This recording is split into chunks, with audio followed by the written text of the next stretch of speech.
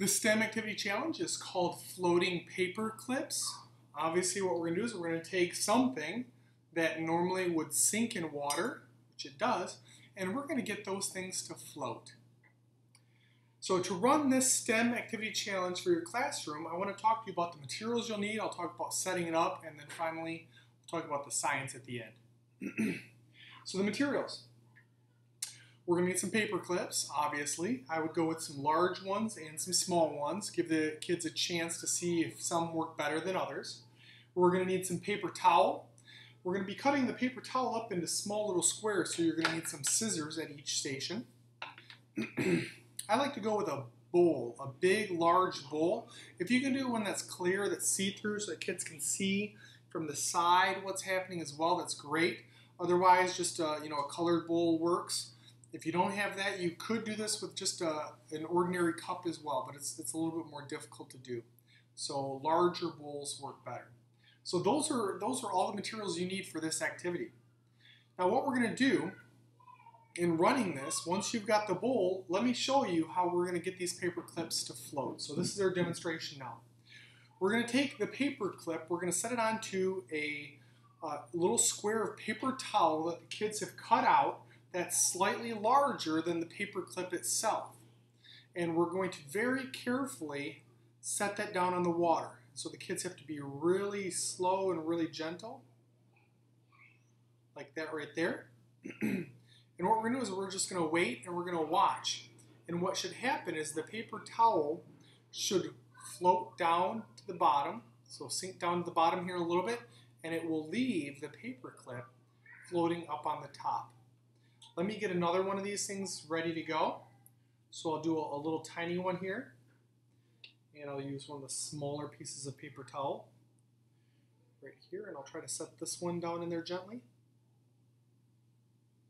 And let's try, I'm to go with an even smaller square. I think I made these a little bit bigger than I normally do. So let's get a, another piece right here. Now this one's almost the exact same size, so it's going to be a little bit trickier for me to set this down in here, flat as can be. So we'll see. I'm already having trouble with that one. So we'll let that go there. now what we can do is we can start poking a little bit at the paper towel because we want the paper towel to go down and we want to see the paper clips themselves float.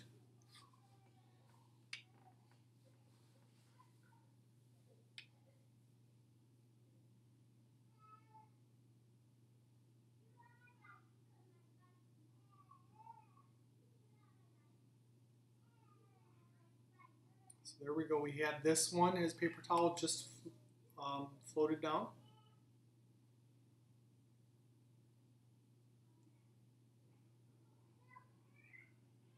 So notice we're trying to be really, really gentle here. That one's about ready to sink. That one floated down to the bottom.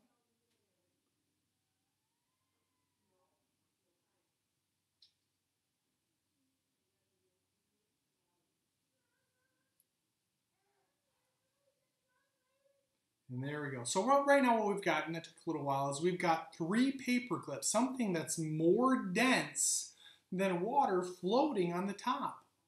And the kids are, one, they're going to try to see if they can figure out how to get this to happen, if they can be careful enough. But then the question being, why? Why is this happening? And they want to try to figure that out. We want to talk to them about it. So let's go into the science behind this right now, and then I'm gonna I'm gonna end with yet another demonstration to talk about this. The science behind this is surface tension, and you've seen this in some of my other science uh, STEM activity challenges. Water likes water, and when we're at the surface, that attraction of water for itself almost forms like a, a layer, a surface that uh, has surface tension, which means we can put other things on there. And then once you break through it, then things will sink down through. And that's why when we took the paper clip and we dropped it vertically or set it in vertically, it just shoots right straight down to the bottom. So this water has a great deal of surface tension. And the goal being, can they get this to happen? So here, I want to show you a modification that you could do with your group if you want. You could take a paper clip like this a large one, push the inside through and open it up. So it's kind of like we've opened it up 90 degrees now. And what you can do here is you can take this and use this to lower a paper clip down in. And I'll try this. I'll try to be really careful doing this. And if you're really, really gentle and really, really slow this way,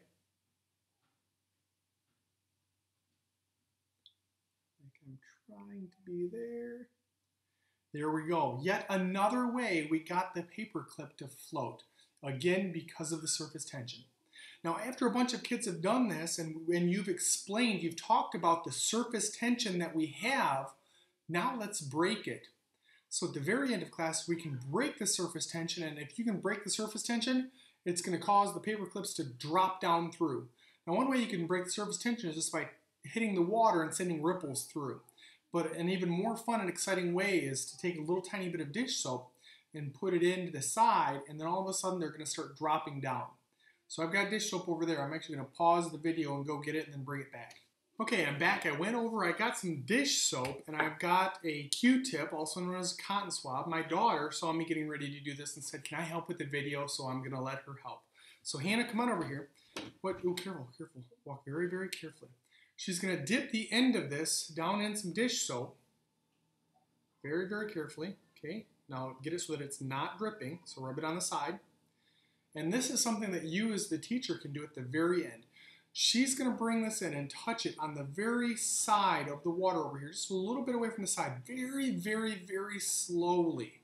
And then we're going to start noticing the paper clips dropping down. So very, very gently touch the water, very gently. Touching the water. Okay, one dropped. Another one, two, then if we keep touching, it eventually at some point this little guy right here is also going to drop down.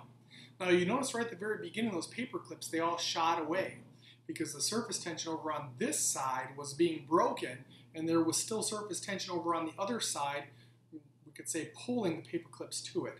So the more soap we get in here next to it, eventually this little guy here will drop. And so that's a great way to show it really was surface tension that was helping to hold up these paper clips. Hi, I'm Josh, also known as Science Demo Guy. If you liked the video that you just saw, and if you'd like to see more STEM activity challenges like this, along with the student worksheets that go with each activity, the materials that you would need to run this in your classroom, the grading rubrics, and the teacher instructions, all of these as editable PDFs, which means if you wanted to, you could customize it for your specific classroom then check out my website, sciencedemoguy.com forward slash store. What you'll find is that I sell these as individual products and then I also sell them as packs at a discount. I have some very popular 16 packs and I've just created a 36 pack which I call STEM for the Year. While you're there, be sure to check out the reviews that other teachers have left. We have hundreds of reviews from teachers that have loved incorporating these STEM activity challenges in their classroom, and maybe you will as well.